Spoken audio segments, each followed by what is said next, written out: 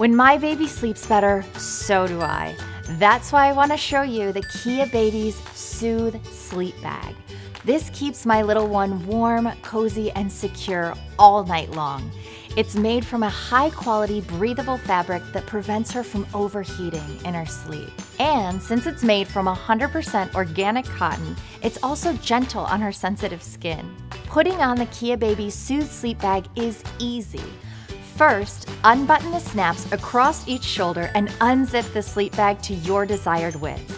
Open it up and lay it on a flat surface. Second, place your baby on top cover the sleep bag and fasten the snap buttons over each shoulder to your desired fit.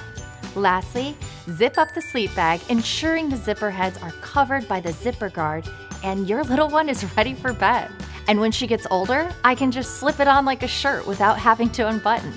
They also have three different sizes small, medium, and large to grow with your baby from newborn up to 24 months.